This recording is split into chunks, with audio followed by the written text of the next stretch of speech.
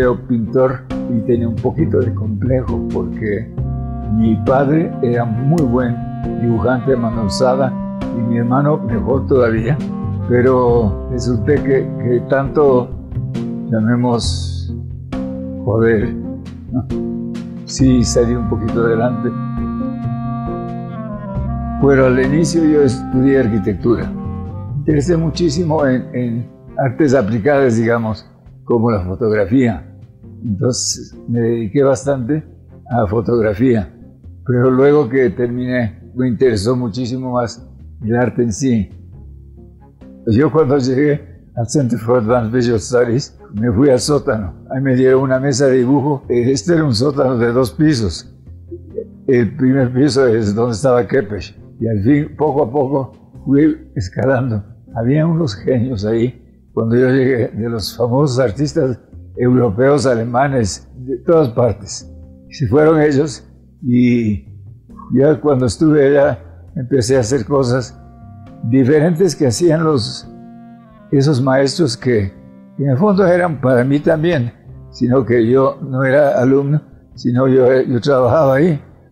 Tenía muchísimo deseo de quedarme allá, pero eh, quedarse en un sitio como esos necesitas primero el auspicio de la propia universidad y luego tener alguien que te respalde con dinero para poder vivir, porque es muy difícil. Entonces hacía obras que yo trataba que sean diferentes a lo que yo había visto de los grandes maestros que estaban antes que yo. Una de ellas me fui a Medellín, a la Bienal, y me gané el primer premio. Esta Bienal es más bien una ventana abierta hacia el mundo de hoy, por la cual se asoman simultáneamente el artista y el espectador. Cuando yo estuve allá, decidieron cambiar las reglas. En vez de un premio, a dar cinco primeros premios. Entonces le dieron a Kepes. La obra de Kepes era mitad mía. Entonces me gané mi premio, el premio con mi obra y la mitad de la otra. La Bienal era unos tubos de plástico de 2 metros 50, de unos 2 centímetros de diámetro, y abajo tenía una bomba de aire de, de acuario. Entonces este, este, tubo de plástico se llenaba de agua hasta unos 30 centímetros. Eso eh, se prendía la bomba y subían unas burbujas hasta casi la, la salida del tubo y volvía a reciclarse todo el tiempo. Entonces eran 49 tubos de estas cosas que estaban moviéndose. La de Kepes era de fuego, un cajón. Y en la esquina teníamos un, un parlante. Y encima de eso se hacía una selección, con, se ponía arena y, hacía el sonido para ver por dónde se abrían los huecos. Y si abrían los huecos, se tenía que poner 20 huequitos y eso se le prendía porque tenía gas.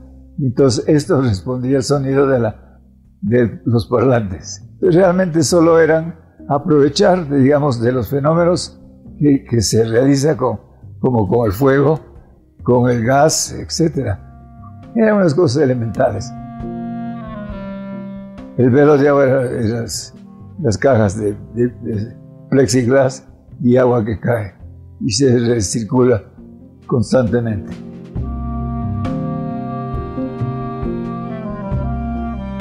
Respirar es una...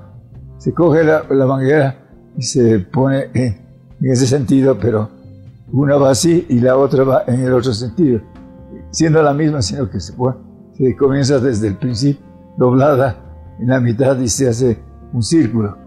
Entonces tú veías el agua que iba eh, en, ambos sentidos. El land art, por ejemplo, en los Estados Unidos, necesitas tener un sponsor, una persona que te respalde, una empresa, porque cuesta mucho hacerlo. Cuando estás en MIT, eh, es una universidad tan prestigiosa que la gente te auspicia. Entonces me fui a un sitio donde tenían, vendían plásticos, como un rollo de plástico de un tubo que tenía dos metros de diámetro. Entonces me dieron, yo les dije que voy a hacer un, un túnel que cruzaba el Charles River. Le inflé con, una, con unas bombas de aire, entonces eso flotaba sobre el río y la gente caminaba como hacía Jesucristo, caminaba sobre el agua. Los lentes son el, el, elemento que necesitaba yo para hablar sobre los horizontes, porque yo me ponía los lentes y me ponía diagonal o completamente horizontal y los lentes estaban siempre paralelo al piso, o me ponía pata de arriba y seguía los anteojos con agua paralelo al piso. Digamos de que la gravedad es la base de todo. Las ventanas tienen que tener, tienen perspectiva, porque así son de verdad. Es interesante lo que es una ventana, porque significa mucho para un arquitecto la ventana y al mismo tiempo la ventana y el paisaje, sea interior o exterior. La arquitectura es un, un oficio muy interesante que si uno lo, digamos, le consciente, le, le arropa, le, le quiere, puede sacarle mucho, muchas ventajas y cosas que son muy interesantes como obra. La pintura es un ejercicio pseudo, digamos, conceptual, como puedes ver estas que tengo acá, pero eh, lo conceptual es no, no pintórico, es solo de ideas. Ese es el, conceptual real es no imagen.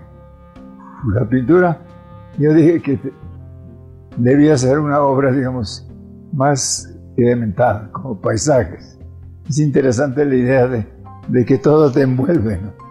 y, lo que te envuelve es el paisaje, porque no es que, el paisaje es simplemente una foto que uno ve, el paisaje es un mundo especial, un mundo, digamos, de una riqueza ¿eh? visual y ambiente.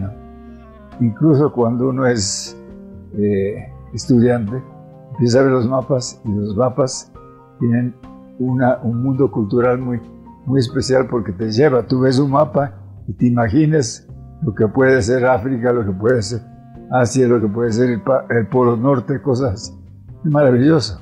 eso es lo que te fomenta, digamos, eh, el, deseo de hacer cosas con, estos elementos. Quito Luz de América le hice yo en Bogotá. Yo oía Quito Luz de América. Yo ya había estado en MIT. Quito Luz de América, Quito. Y me entró en la cabeza que no, pues se puede hacer un paisaje de Quito. Un perfil como de, del Pichincha, eh, Quito y la, la ciudad, ¿no? Pues lo que pasa es que uno llega a la adolescencia especialmente eh, en, el Ecuador, en algunos países latinoamericanos, es porque vivir del arte es muy jodido. Entonces, una manera de vivir es enseñando lo que tú tienes como eh, bagaje, experiencias o talento. Entonces, eso lo, lo utilizas, digamos, para enseñar. Esa es una razón, es la única razón que uno tiene para, para sobrevivir en estos espacios. Entonces, el arte todavía no tiene el valor que, merece en el Ecuador, teniendo buenos artistas.